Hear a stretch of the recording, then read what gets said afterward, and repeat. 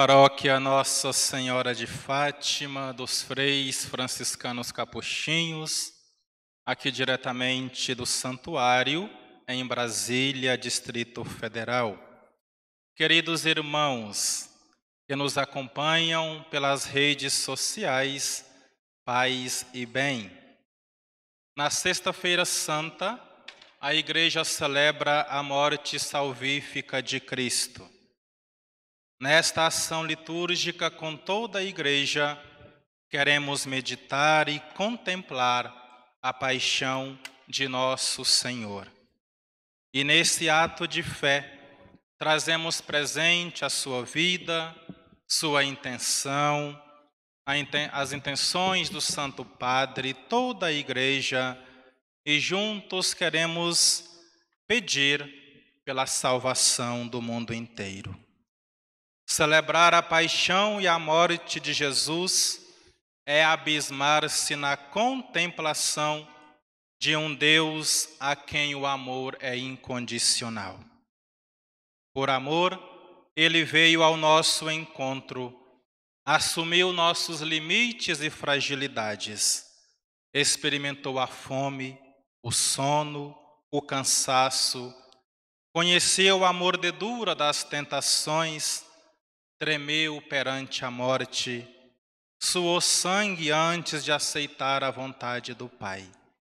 E estendido no chão, esmagado contra a terra, atraiçoado, abandonado, incompreendido, continuou a nos amar.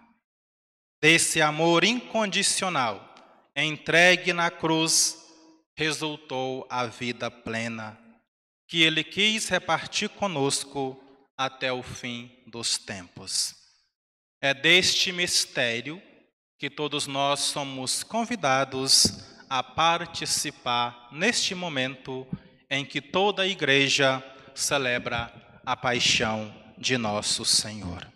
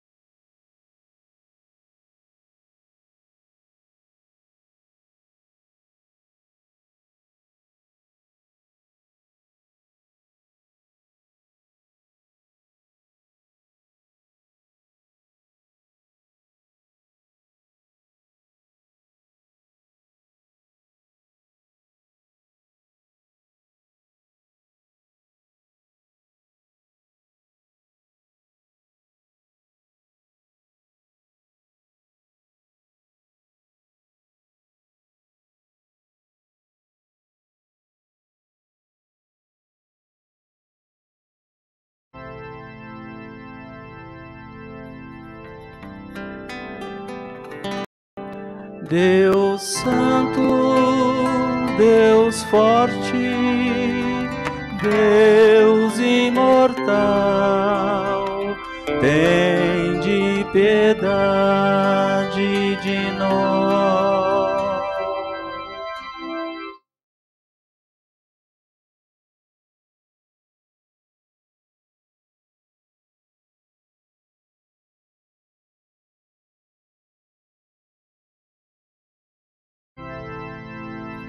Deus Santo, Deus forte, Deus imortal, tem de piedade de nós.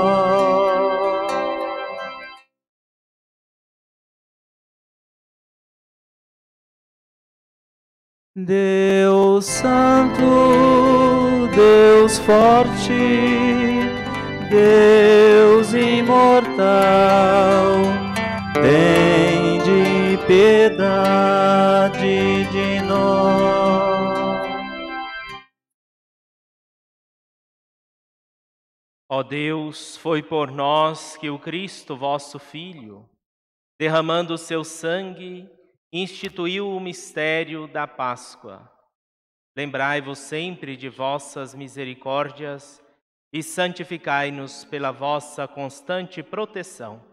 Por Cristo nosso Senhor.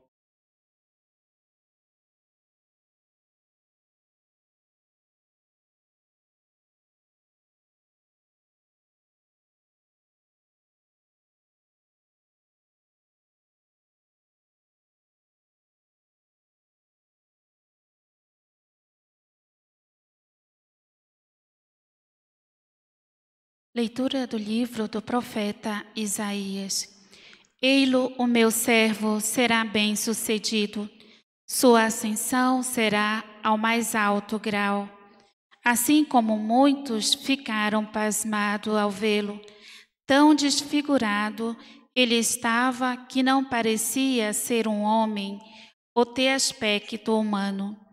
Do mesmo modo, ele espalhará sua fama entre os povos. Diante dele, os reis se manterão em silêncio, vendo algo que nunca lhes for narrado e conhecendo coisas que jamais ouviram. Quem de nós deu crédito ao que ouvimos? E a quem foi dado reconhecer a força do Senhor?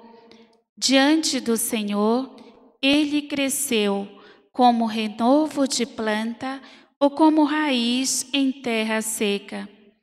Não tinha beleza nem atrativo para o olharmos, não tinha aparência que nos agradasse. Era desprezado como o último dos mortais, homem coberto de dores, cheio de sofrimentos.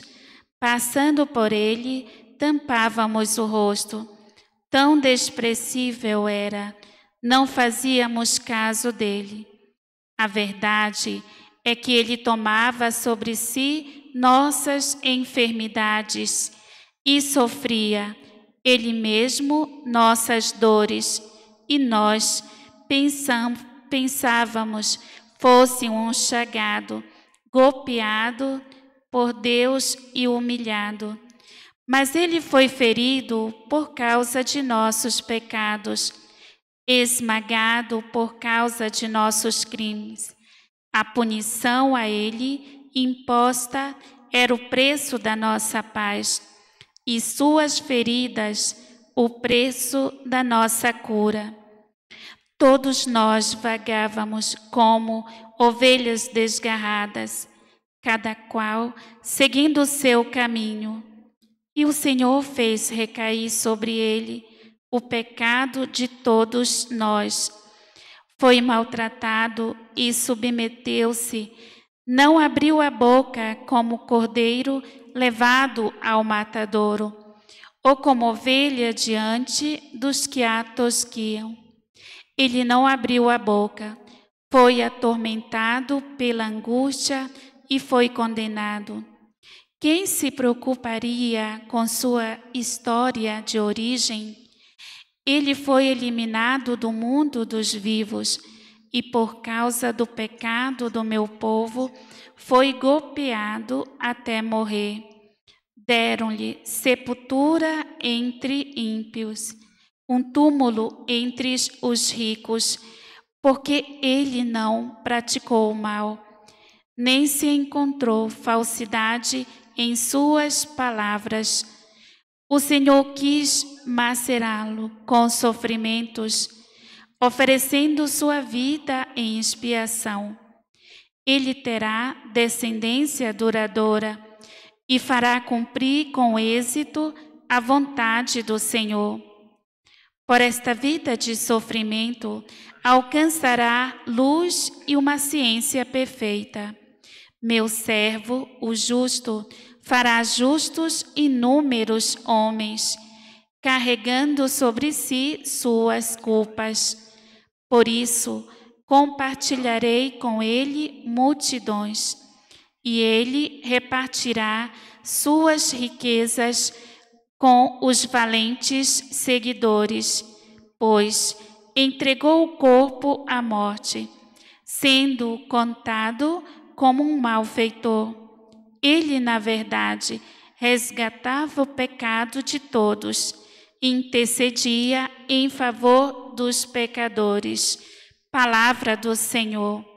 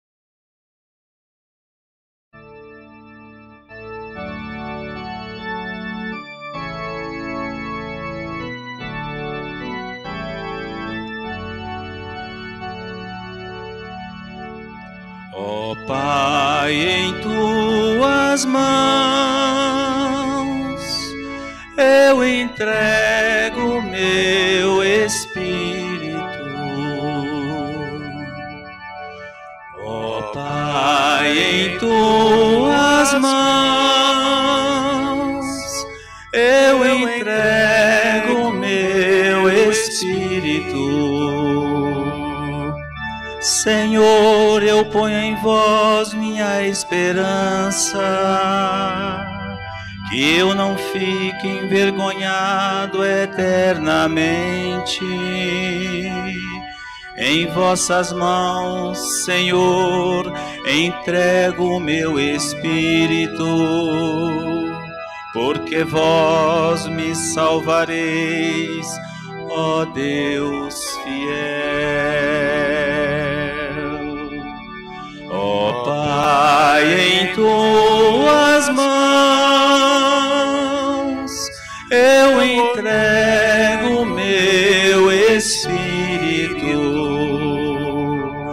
Tornei-me opróbrio do inimigo, o desprezo e zombaria dos vizinhos e objeto de pavor para os amigos.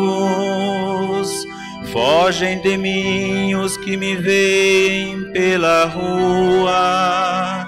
Os corações me esqueceram como um morto e tornei-me como um vaso espedaçado.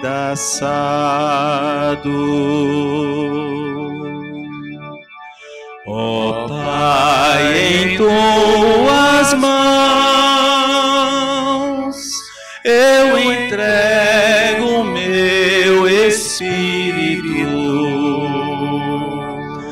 Vós, porém, ó meu Senhor, eu me confio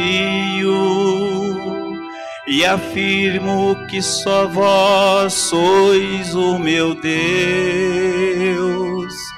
Eu entrego em vossas mãos o meu destino. Libertai-me do inimigo e do opressor.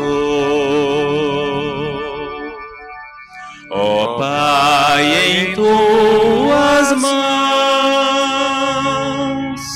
eu entrego meu espírito. Mostrai serena vossa face ao vosso servo e salvai-me pela vossa compaixão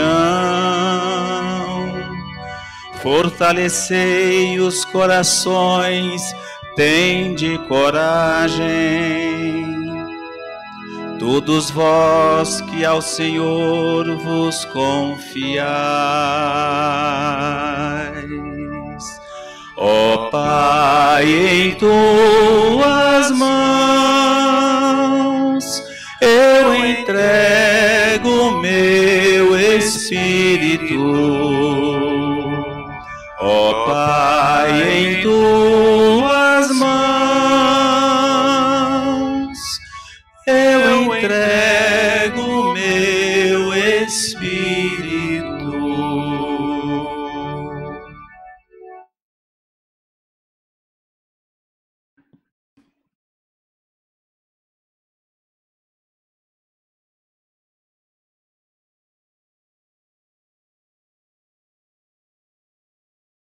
Leitura da carta aos Hebreus.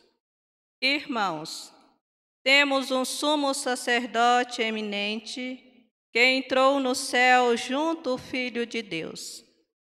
Por isso, permaneçamos firmes na fé que professamos.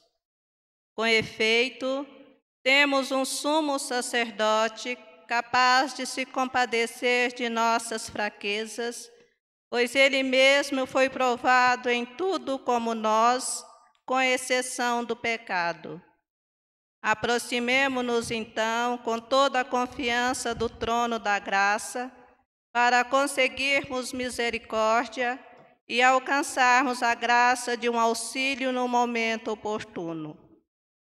Cristo, nos dias de sua vida terrestre, Dirigiu preces e súplicas com forte clamor e lágrimas àquele que era capaz de salvá-lo da morte. E foi atendido por causa de sua entrega a Deus. Mesmo sendo filho, aprendeu o que significa obediência a Deus por aquilo que ele sofreu. Mas, na consumação de sua vida, tornou-se causa de salvação eterna para todos os que lhe obedecem. Palavra do Senhor. Graças a Deus.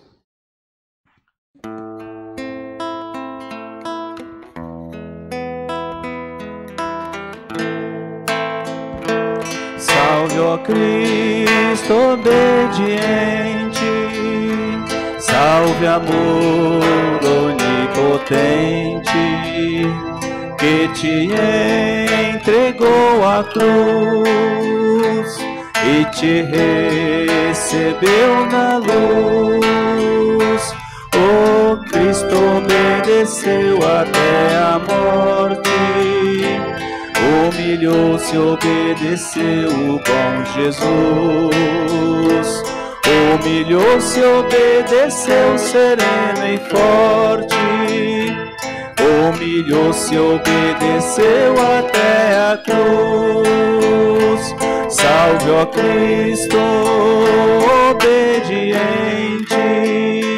salve, amor onipotente, que te entregou a cruz te recebeu na luz. Paixão de nosso Senhor Jesus Cristo, segundo João.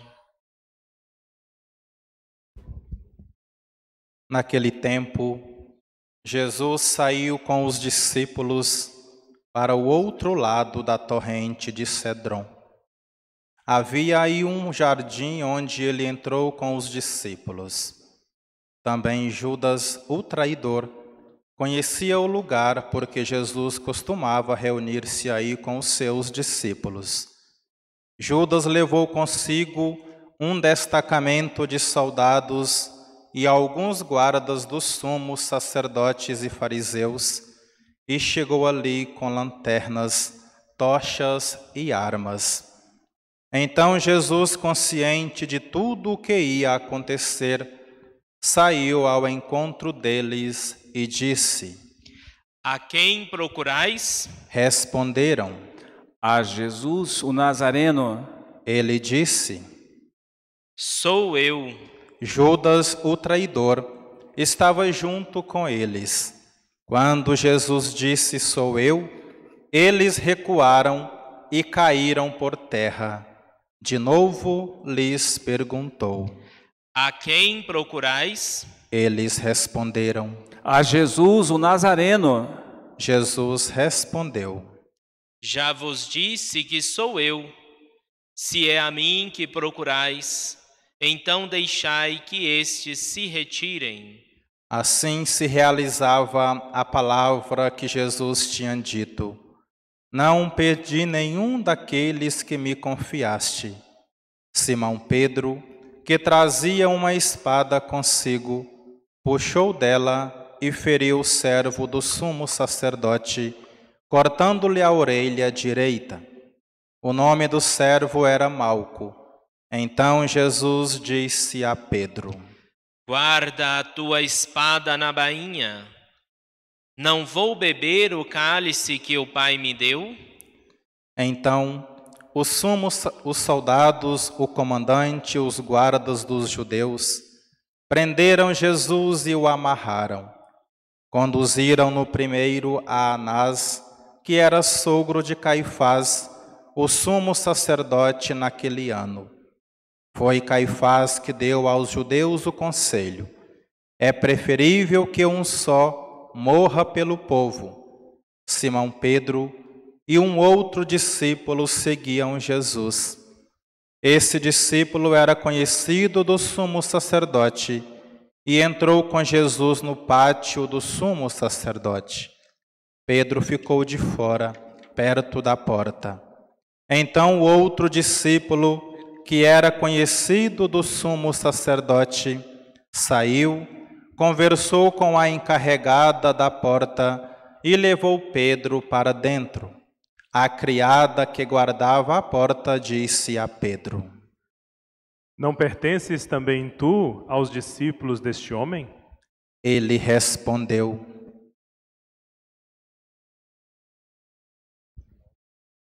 Não. Os empregados e os guardas fizeram uma fogueira e estavam se aquecendo, pois fazia frio. Pedro ficou com eles, aquecendo-se. Entretanto, o sumo sacerdote interrogou Jesus a respeito de seus discípulos e deu seu ensinamento. Jesus lhe respondeu: Eu falei às claras ao mundo. Ensinei sempre na sinagoga e no templo, onde todos os judeus se reúnem. Nada falei às escondidas. Por que me interrogas? Pergunta aos que ouviram o que falei. Eles sabem o que eu disse. Quando Jesus falou isso, um dos guardas que ali estava deu-lhe uma bofetada, dizendo: É assim que respondes ao sumo sacerdote? Respondeu-lhe Jesus: Se respondi mal, mostra em que. Mas se falei bem, por que me bates? Então Anás enviou Jesus amarrado para Caifás, o sumo sacerdote. Simão Pedro continuava lá em pé, aquecendo-se. Disseram-lhe: Não és tu também um dos discípulos dele? Pedro negou. Não. Então um dos empregados do sumo sacerdote, parente daquele a quem Pedro tinha cortado a orelha, disse: Será que não te vi no jardim com ele?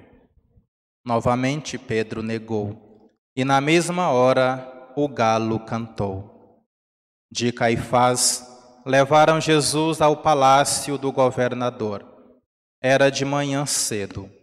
Eles mesmos não entraram no palácio para não ficarem impuros e poderem comer a Páscoa.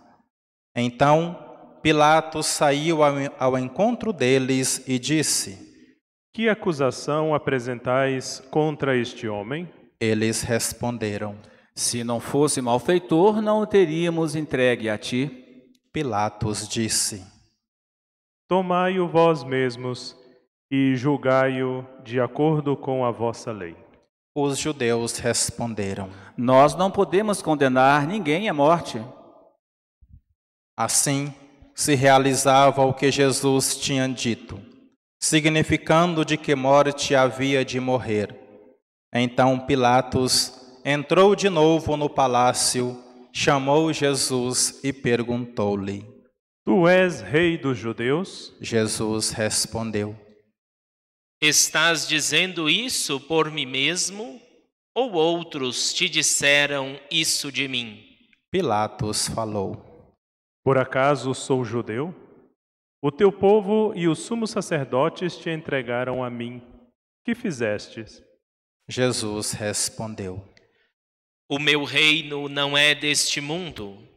Se o meu reino fosse deste mundo, os meus guardas teriam lutado para que eu não fosse entregue aos judeus. Mas o meu reino não é daqui.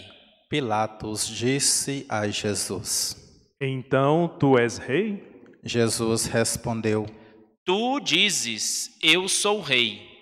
Eu nasci e vim ao mundo para isto, para dar testemunho da verdade. Todo aquele que é da verdade escuta a minha voz. Pilatos disse a Jesus: O que é a verdade? Ao dizer isso, Pilatos saiu ao encontro dos judeus e disse-lhes: Eu não encontro nenhuma culpa nele, mas existe entre vós um costume, que pela Páscoa eu vos solte um preso. Quereis que eu vos solte o rei dos judeus? Então começaram a gritar de novo. Este não, mas Barrabás. Barrabás era um bandido. Então Pilatos mandou flagelar Jesus. Os soldados teceram uma coroa de espinhos e a colocaram na cabeça de Jesus. Vestiram-no com um manto vermelho, aproximavam-se dele e diziam: Viva o Rei dos Judeus! E davam-lhe bofetadas. Pilatos saiu de novo e disse aos judeus: Olhai, eu o trago aqui fora, diante de vós, para que saibais que não encontro nele crime algum. Então Jesus veio para fora, trazendo a coroa de espinhos e o manto vermelho. Pilatos disse-lhes: Eis o homem. Quando viram Jesus, os sumos sacerdotes e os guardas começaram a gritar. Crucifica-o! Crucifica-o! Pilatos respondeu: Levai-o vós mesmos para, o, para crucificar, pois eu não encontro nele crime algum. Os judeus responderam: Nós temos uma lei, e segundo essa lei, ele deve morrer, porque se fez filho de Deus.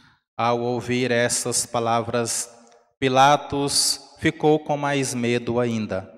Entrou outra vez no palácio e perguntou a Jesus: De onde és tu? Jesus ficou calado. Então Pilatos disse: Não me respondes? Não sabes que tenho autoridade para te soltar e autoridade para te crucificar? Jesus respondeu: Tu não terias autoridade alguma sobre mim se ela não te fosse dada do alto. Quem me entregou a ti, portanto, tem culpa maior. Por causa disso, Pilatos procurava assaltar Jesus, mas os judeus gritavam: Se soltas este homem, não és amigo de César. Todo aquele que se faz rei declara-se contra César. Ouvindo essas palavras, Pilato levou Jesus para fora e sentou-se no tribunal no lugar chamado pavimento em hebraico, Gábata. Era o dia da preparação da Páscoa, por volta do meio-dia. Pilatos disse aos judeus: Eis o vosso rei. Eles, porém, gritavam. Fora, fora, crucifica-o.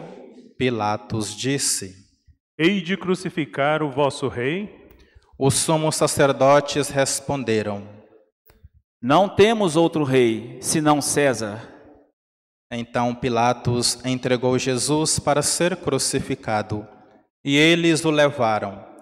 Jesus tomou a cruz sobre si e saiu para o lugar chamado Calvário, em hebraico Gólgota. Ali o crucificaram com dois outros dois, um de cada lado e Jesus no meio. Pilatos mandou ainda escrever um letreiro e colocá-lo na cruz. Nele estava escrito: Jesus Nazareno, o Rei dos Judeus. Muitos judeus puderam ver o letreiro porque o lugar em que Jesus foi crucificado ficava perto da cidade. O letreiro estava escrito em hebraico, latim e grego. Então o sumo sacerdote dos judeus disseram a Jesus: Não escrevas o rei dos judeus, mas sim o que ele disse: Eu sou o rei dos judeus. Pilatos respondeu: O que escrevi está escrito. Depois que crucificaram Jesus, os soldados repartiram a sua roupa em quatro partes, uma parte para cada soldado. Quanto à túnica, esta era tecida sem costura, em peça única de alto a baixo. Disseram então entre si: Não vamos dividir a túnica, tiremos sorte para ver de quem será. Assim se cumpria a escritura que diz: Repartiram entre si as minhas vestes e lançaram sorte sobre a minha túnica. Assim procederam os soldados. Perto da cruz de Jesus estavam de pé a sua mãe, a irmã de sua mãe, Maria de Cleófas e Maria Madalena. Jesus, ao ver sua mãe, e ao lado dela o discípulo que ele amava, disse à mãe: Mulher, este é o teu filho. Depois disse ao discípulo: Esta é a tua mãe. Dessa hora em diante, o discípulo a acolheu consigo. Depois disso, Jesus, sabendo que tudo estava consumado, e para que a Escritura se cumprisse até o fim, disse: Tenho sede. Havia ali uma jarra cheia de vinagre.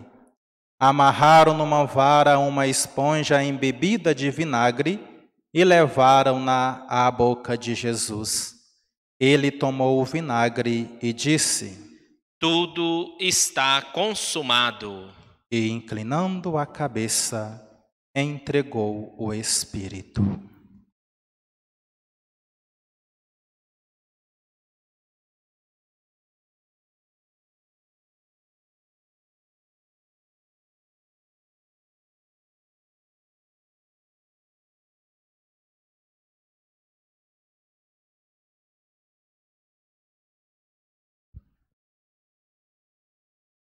Era o dia da preparação para a Páscoa.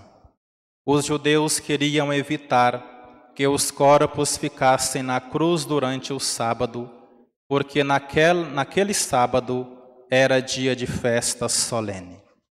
Então pediram a Pilatos que mandasse quebrar as pernas aos crucificados e os tirasse da cruz. Os soldados foram e quebraram as pernas de um e depois do outro que foram crucificados com Jesus. Ao se aproximarem de Jesus e vendo que já estava morto, não lhe quebraram as pernas, mas um soldado abriu-lhe o lado com uma lança e logo saiu sangue e água. Aquele que viu dá testemunho e o seu testemunho é verdadeiro e ele sabe que fala a verdade, para que vós também acrediteis. Isso aconteceu para que se cumprisse a escritura que diz: não quebrarão nenhum dos seus ossos. E outra escritura ainda diz: olharão para aquele que transpassaram.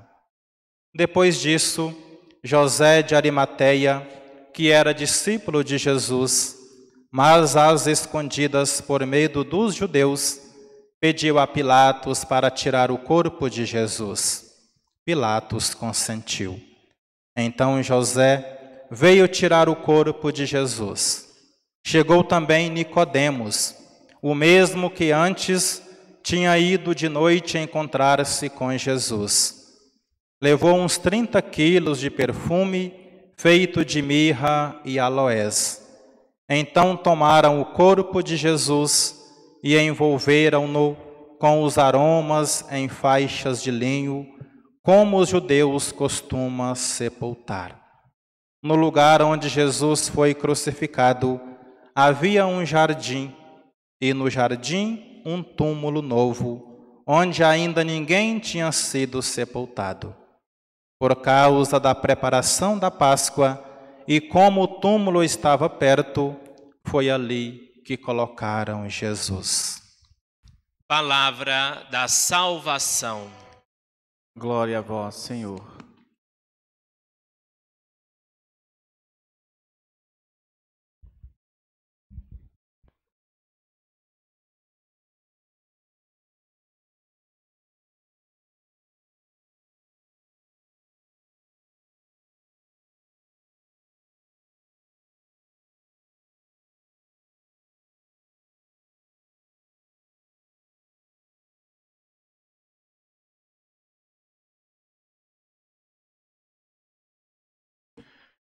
Sexta-feira da Paixão, continuação da celebração de ontem e participamos.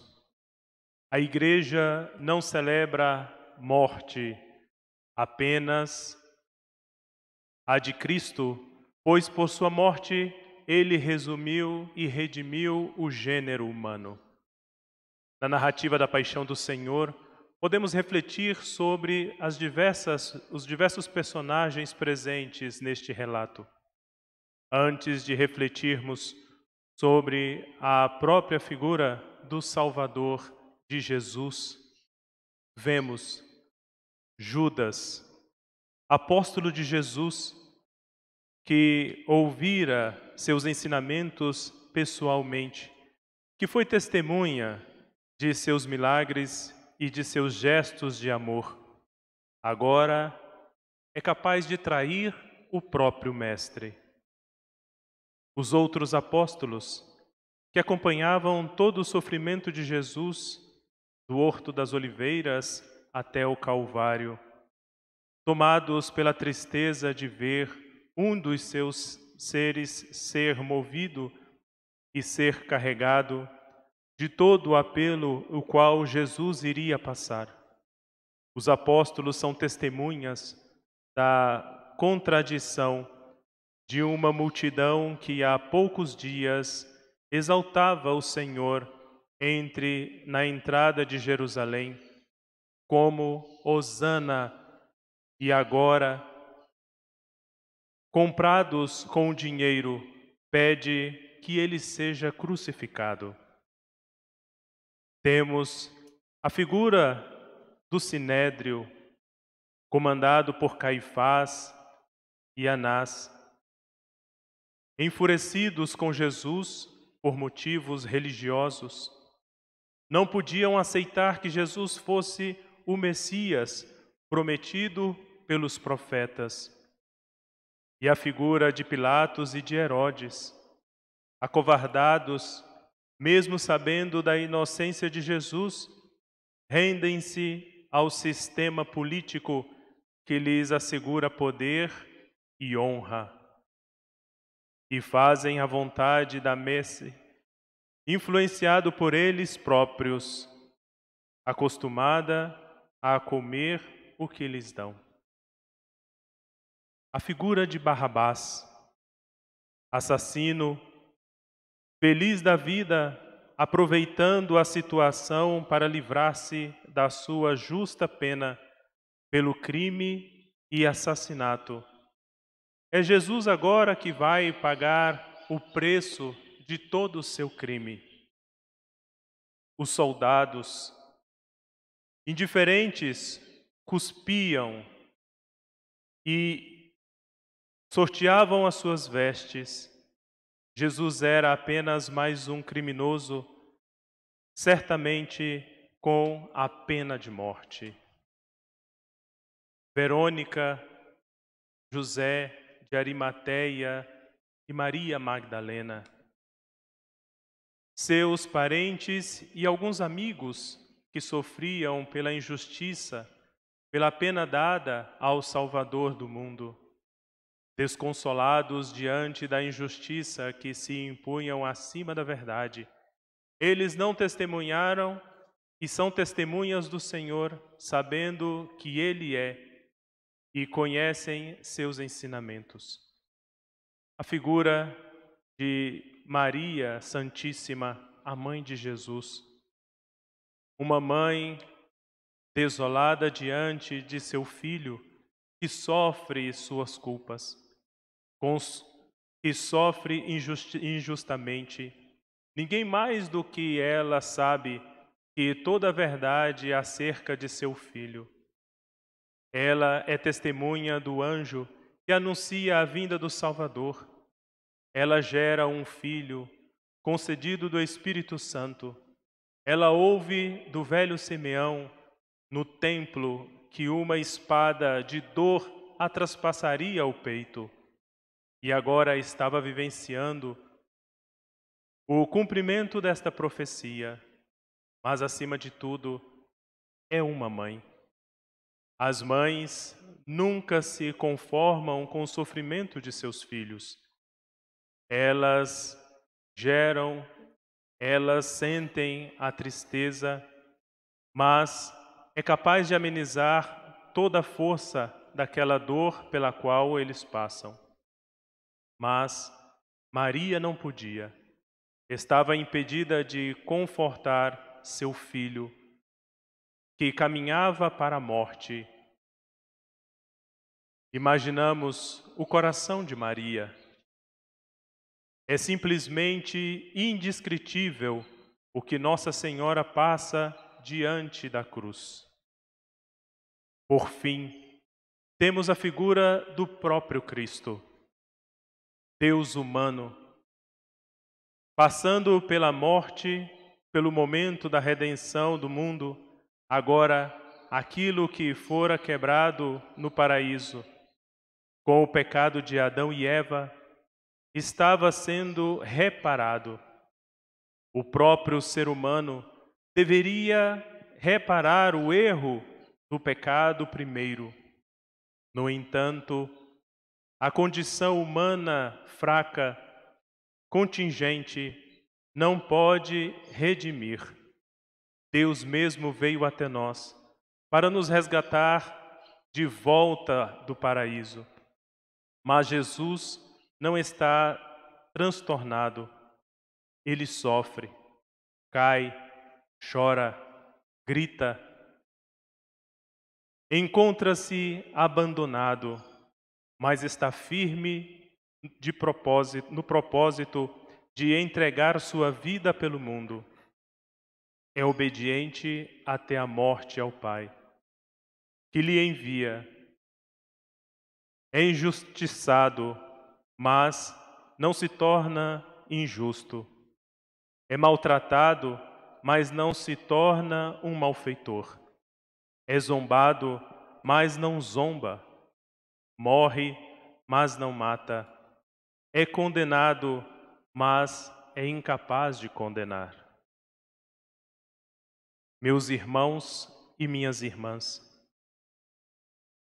Penso todos os anos, quando chega este dia, é a celebração que mais nos humilha, chega a nos constranger, arrasar os nossos corações, pois nunca se viu tanto pecado, tanta indiferença, sermos pegos com tanto amor envolvido no sofrimento de Jesus.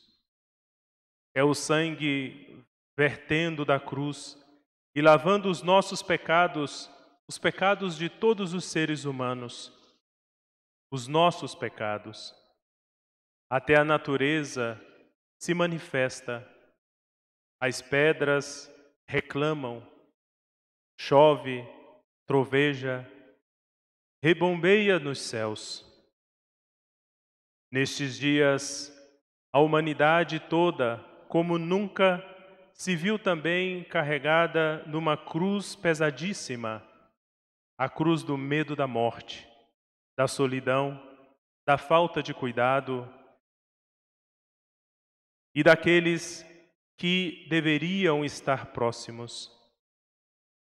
De todos os nossos irmãos cuidadores dos hospitais, que se tornaram poucos em todo o mundo, da exploração de alguns que aproveitam da situação para pensarem em si mesmos, sem compreender que estamos todos no mesmo barco. A humanidade, com Cristo na cruz, está nua aprendendo a viver o sofrimento do Calvário e desprovida de todas as suas forças. Perece indiferente, mas resta uma força ainda entre nós, a maior de todas, aquela que levou Jesus a dizer: Pai, perdoa-lhes eles não sabem o que fazem. É a força do amor, a força da santidade, a força da Trindade dentro de nós. E nestes dias, experimentamos esta força como nunca. São inúmeras as expressões de amor vividas nas, nos apartamentos das famílias que há muito já não se encontravam mais.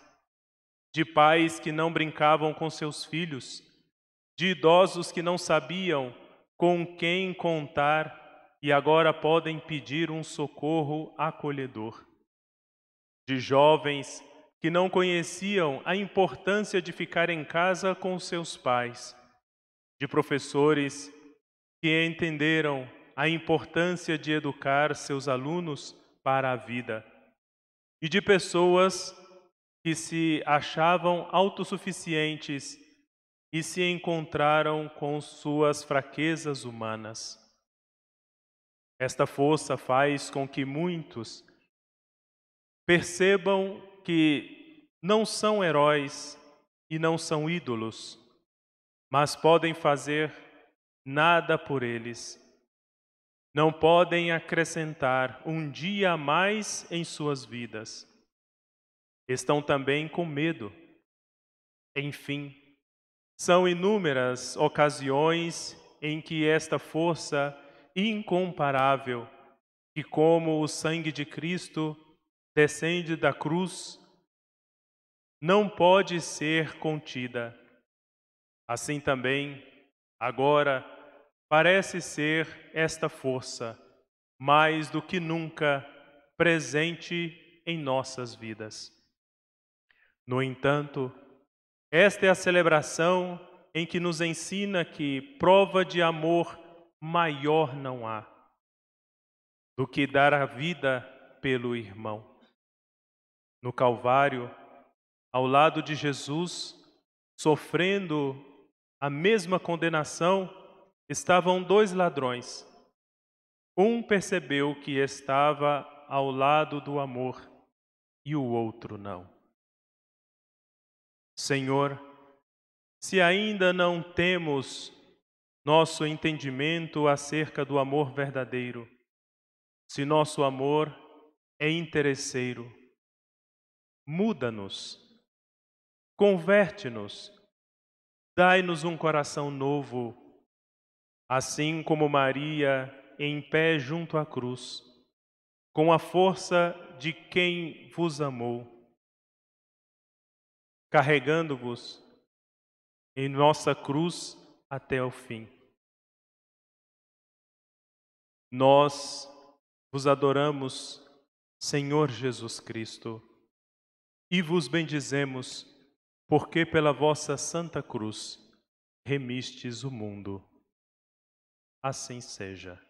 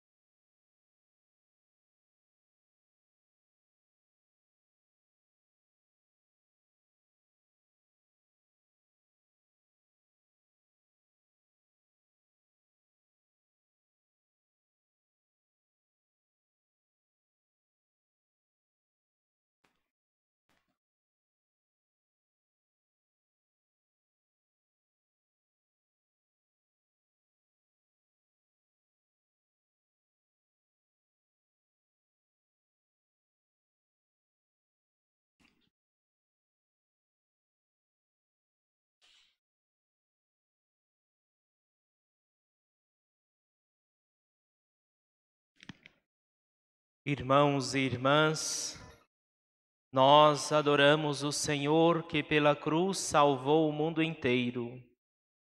Rezemos pelas grandes necessidades da Igreja e da humanidade, pela qual Jesus entregou a vida. Oremos, irmãos caríssimos, pela Santa Igreja de Deus. Que o Senhor nosso Deus lhe dê a paz e a unidade, que Ele a proteja por toda a terra e os conceda uma vida calma e tranquila para a sua própria glória. Senhor, tem de piedade de nós.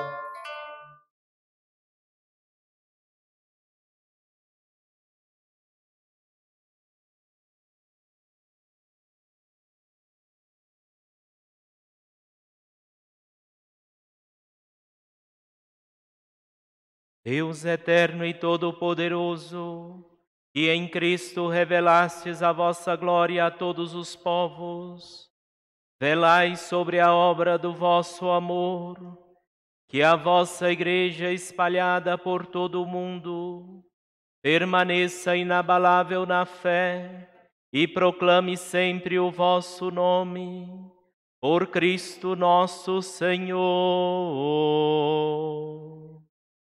Amém.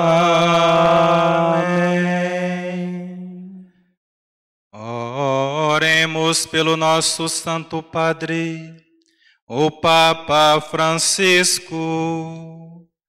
O Senhor nosso Deus, que o escolheu para o episcopado, o conserve são e salvo à frente da sua igreja governando o povo de Deus.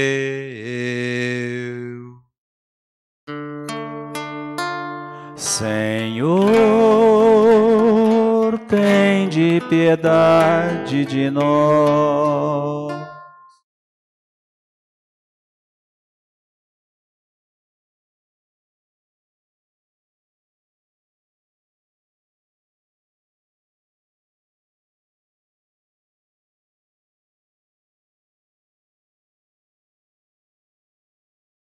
Deus eterno e todo-poderoso, que dispusestes todas as coisas com sabedoria, dignai-vos escutar nossos pedidos.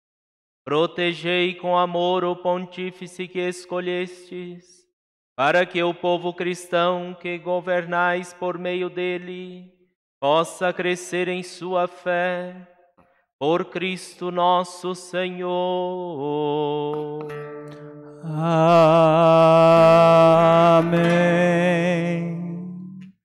Oremos pelo nosso administrador apostólico, Dom Sérgio da Rocha, por todos os bispos, presbíteros e diáconos da Igreja e todo o povo fiel.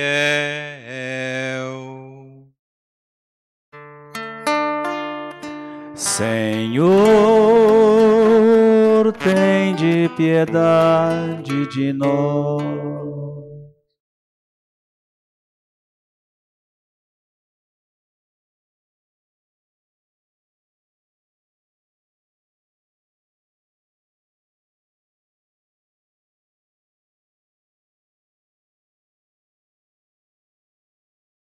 Deus eterno e todo-poderoso, que santificais e governais pelo vosso Espírito todo o corpo da Igreja, escutai as súplicas que vos dirigimos por todos os ministros do vosso povo. Fazei que cada um, pelo dom da vossa graça, vos sirva com fidelidade por Cristo nosso Senhor. Amém. Oremos pelos catecúmenos, que o Senhor nosso Deus abra os seus corações e as portas da misericórdia, para que, tendo recebido nas águas do batismo, o perdão de todos os seus pecados, sejam incorporados no Cristo Jesus.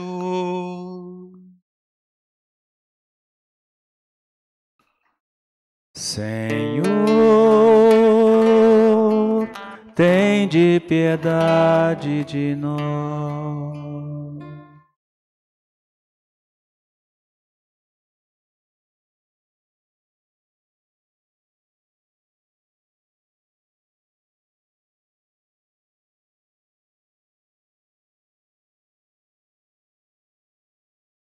Deus eterno e todo-poderoso, que por novos nascimentos tornais fecundo a vossa Igreja, aumentai a fé e o entendimento dos catecúmenos, para que, renascidos pelo batismo, sejam contados entre os vossos filhos adotivos, por Cristo nosso Senhor. Amém.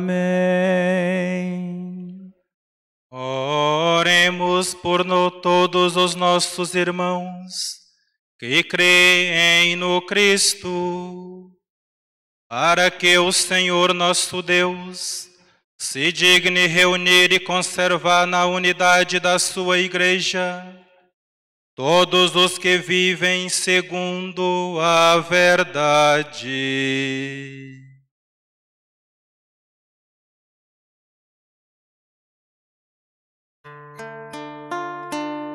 Senhor,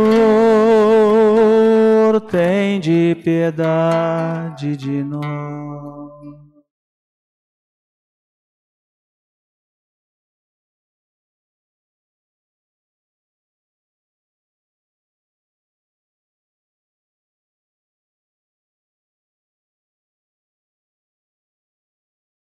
Deus eterno e todo-poderoso, e reunis o que está disperso, e conservais o que está unido, velai sobre o rebanho do vosso Filho, que a integridade da fé e os laços da caridade unam os que foram consagrados por um só batismo, por Cristo nosso Senhor. Amém.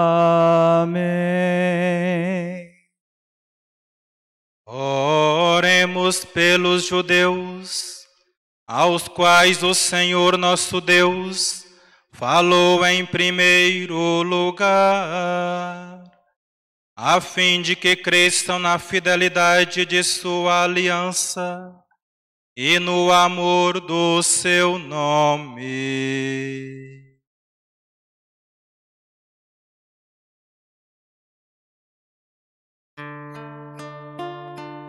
Senhor, tende piedade de nós.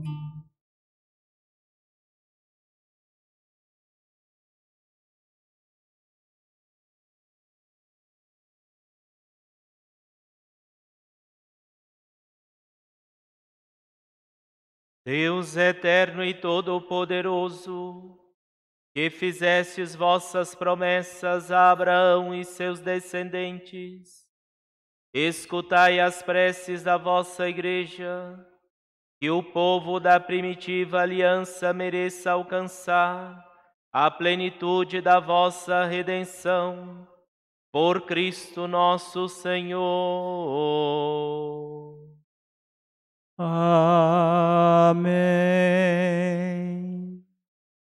Oremos pelos que não creem no Cristo, para que, iluminados pelo Espírito Santo, possam também ingressar no caminho da salvação.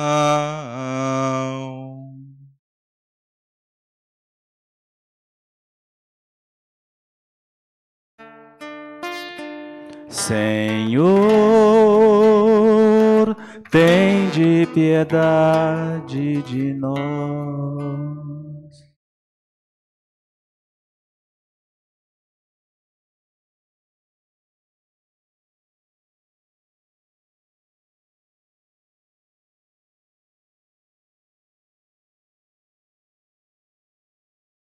Deus eterno e todo-poderoso, dai aos que não creem no Cristo e caminham sobre o vosso olhar com sinceridade de coração, chegar ao conhecimento da verdade e fazei que sejamos no mundo testemunhas mais fiéis da vossa caridade, amando-nos melhor uns aos outros e participando com maior solicitude no mistério da vossa vida.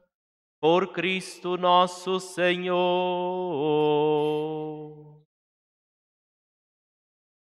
Amém. Oremos pelos que não reconhecem a Deus, para que, buscando lealmente o que é reto, possam chegar ao Deus verdadeiro.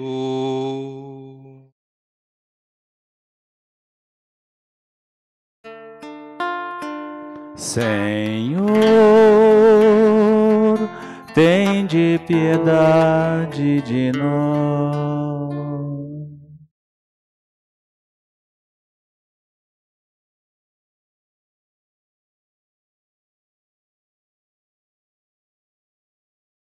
Deus eterno e todo-poderoso, vós criastes todos os seres humanos e pusestes em seu coração o desejo de procurar-vos, para que, tendo-vos encontrado, só em vós achassem repouso.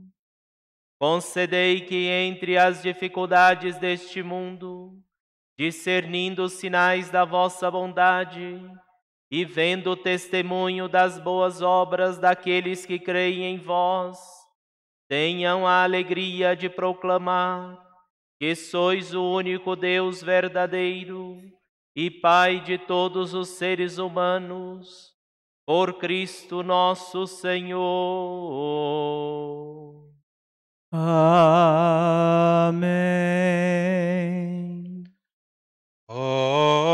Oremos por todos os governantes. Que o nosso Deus e Senhor, segundo Sua vontade, lhes dirija o espírito e o coração, para que todos possam gozar de verdadeira paz e liberdade.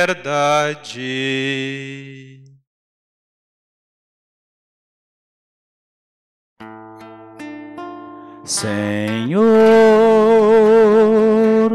tem de piedade de nós.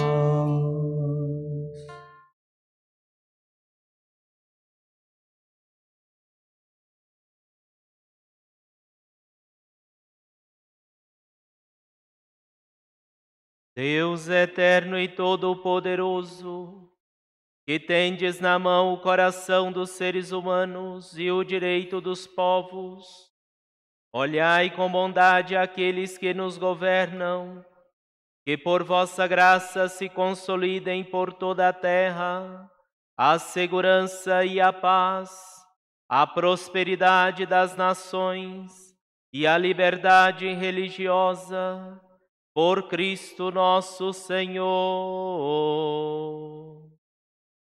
Amém. Oremos por todos os que sofrem as consequências da atual pandemia,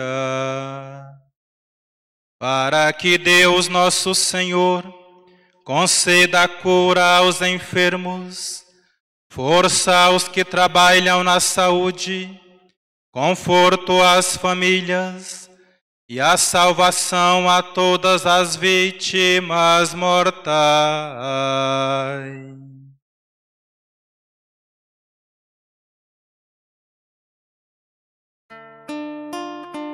Senhor, tem de piedade de nós.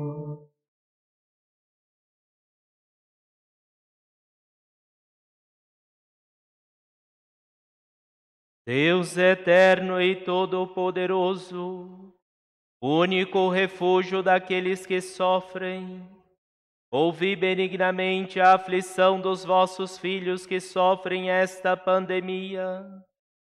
Aliviai a dor de quem sofre, dai força a quem está ao seu lado, acolhei na vossa paz os que já pereceram e fazei com que todos encontrem o auxílio da vossa misericórdia neste tempo de tribulação. Por Cristo nosso Senhor. Amém.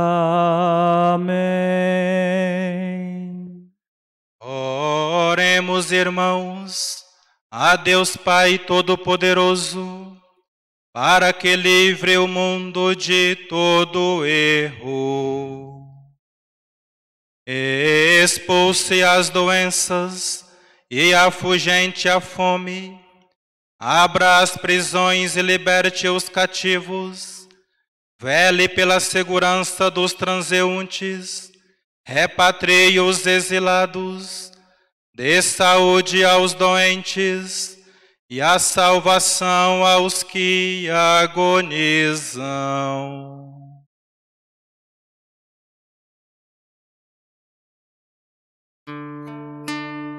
Senhor, tem de piedade de nós.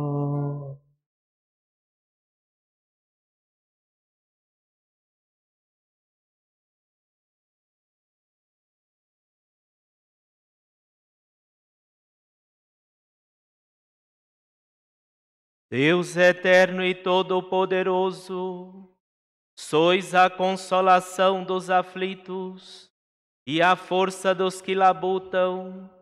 Cheguem até vós as preces dos que clamam em sua aflição, sejam quais forem os seus sofrimentos, para que se alegrem em suas provações, com o socorro da vossa misericórdia por Cristo nosso Senhor. Amém.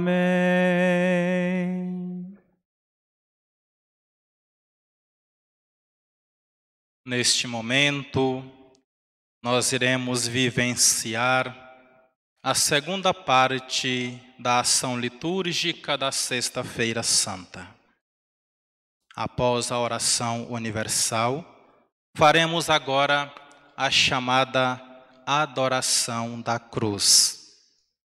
Não se pode contemplar a cruz isolada daquilo que nela aconteceu.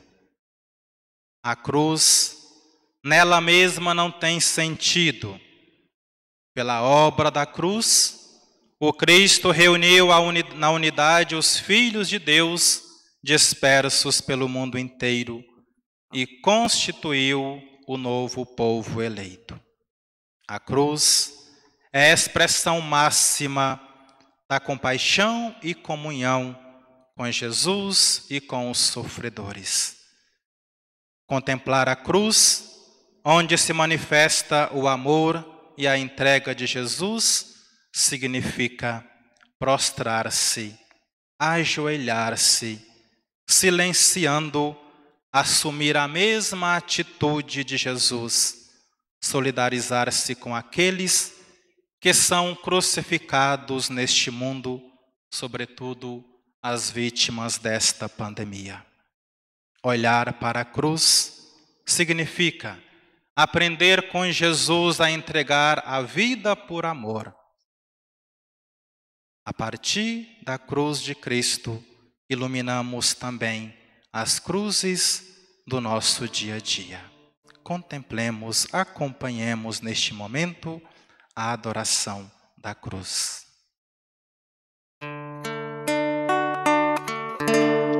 Eis o lenho da cruz, da qual pendeu a salvação do mundo.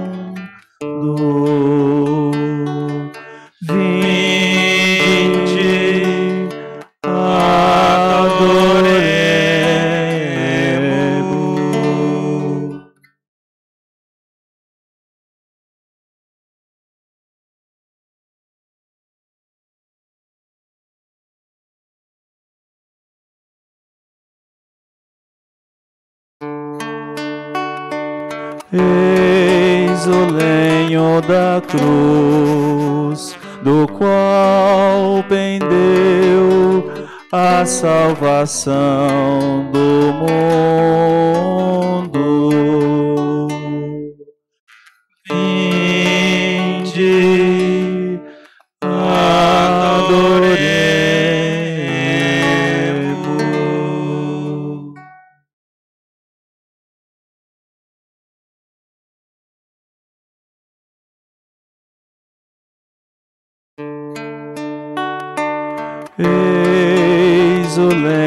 Da cruz, do qual pendeu a salvação do mundo.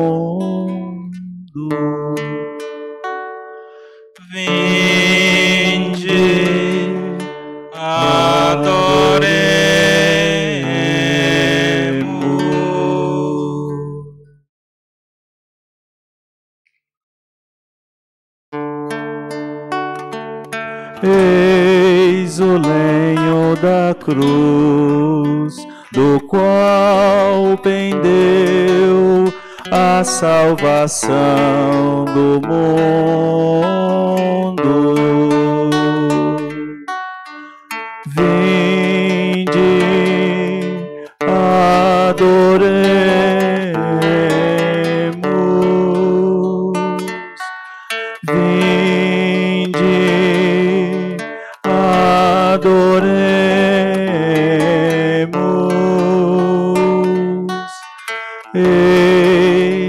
Lenho da cruz, do qual pendeu a salvação do mundo.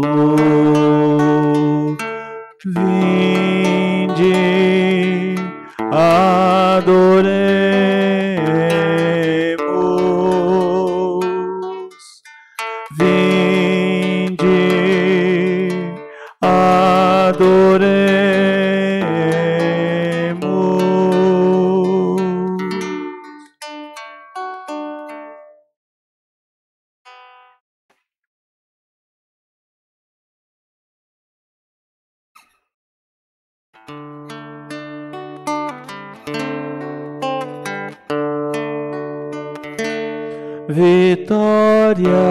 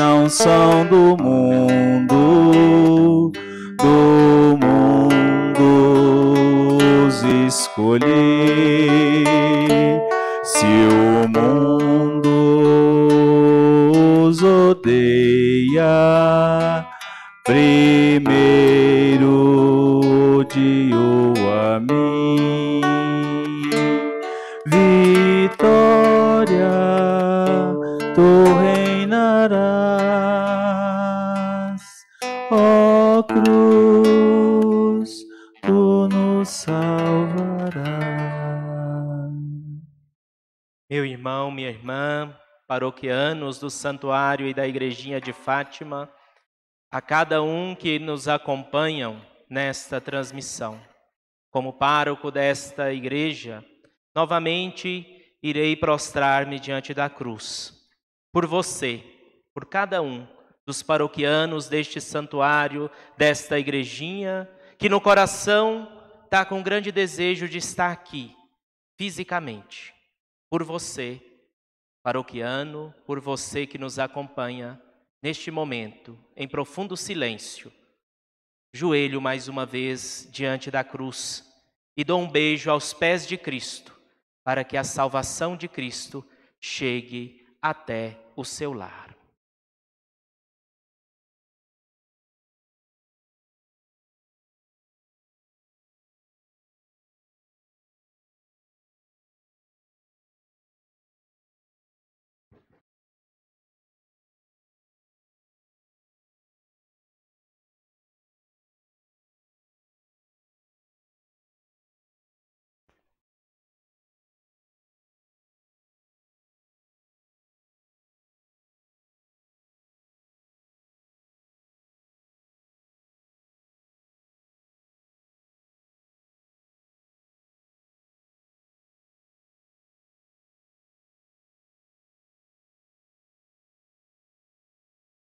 Nesse momento, nos preparemos para a comunhão. Você que está na sua casa, você que está nos acompanhando pelas redes sociais, sinta-se acolhido por Deus neste momento de fé. Sinta-se abraçado por esta igreja. Sinta-se acolhido por todos os freis desta paróquia que aqui trabalham. Vamos nos preparando então para esse momento sublime da nossa celebração, a comunhão.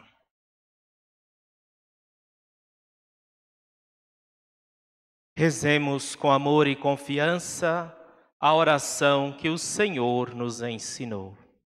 Pai, Pai nosso, nosso, que estais nos céus, santificado seja o vosso nome. Venha a nós o vosso reino. Seja feita a vossa vontade, assim na terra como no céu. O pão nosso de cada dia nos dai hoje. Perdoai as nossas ofensas, assim como nós perdoamos a quem nos tem ofendido. Não nos deixeis cair em tentação, mas livrai-nos do mal. Livrai-nos de todos os males, ó Pai, e dai-nos hoje a vossa paz. Ajudados pela vossa misericórdia, sejamos sempre livres do pecado e protegidos de todos os perigos, quanto vivendo a esperança, aguardamos a vinda do Cristo Salvador. Vosso é o reino, o poder e a glória para sempre.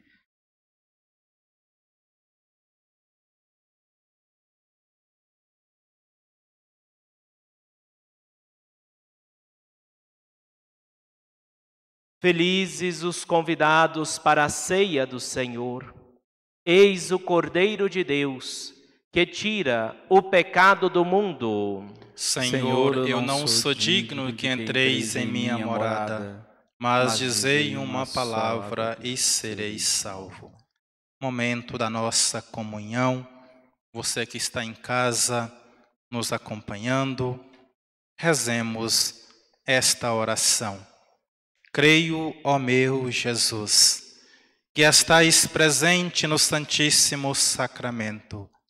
Amo-vos sobre todas as coisas e desejo vos possuir em minha alma. Mas como agora não posso receber-vos sacramentalmente, vinde espiritualmente ao meu coração. E como se já vos tivesse recebido, uno-me inteiramente a vós. Não cansais de estar comigo, meu Senhor Jesus.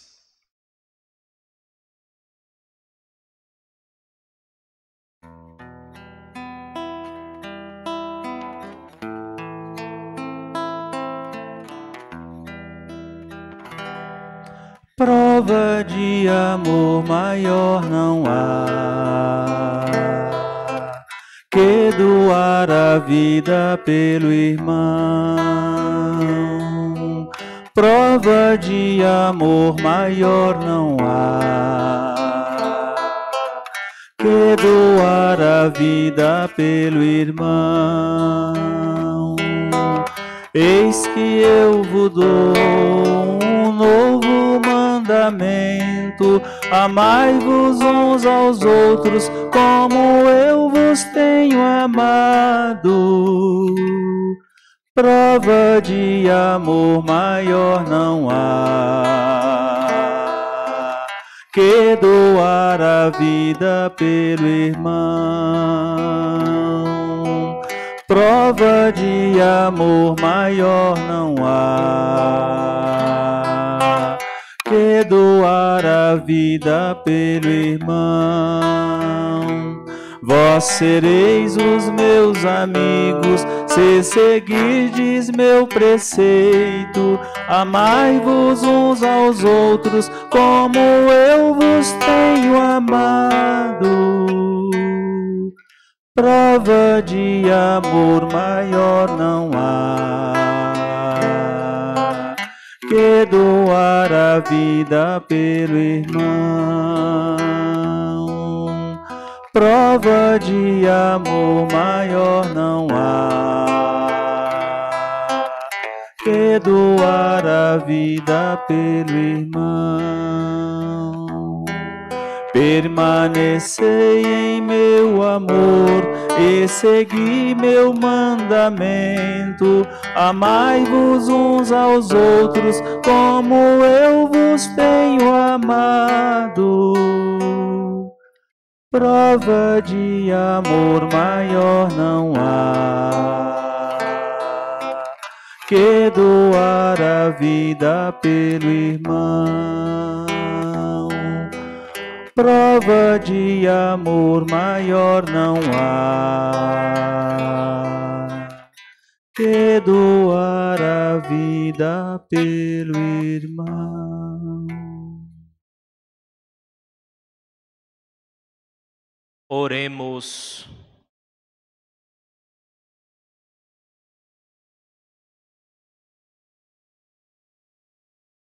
Ó Deus, que nos renovastes pela santa morte e ressurreição do vosso Filho, conservai em nós a obra de vossa misericórdia, para que pela participação deste mistério vos consagremos sempre a nossa vida por Cristo nosso Senhor. Que a vossa bênção, ó Deus, desça copiosa sobre o vosso povo que acaba de celebrar a morte do vosso Filho, na esperança da sua ressurreição. Venha o vosso perdão, seja dado o vosso consolo, cresça a fé verdadeira e a redenção se confirme. Por Cristo nosso Senhor.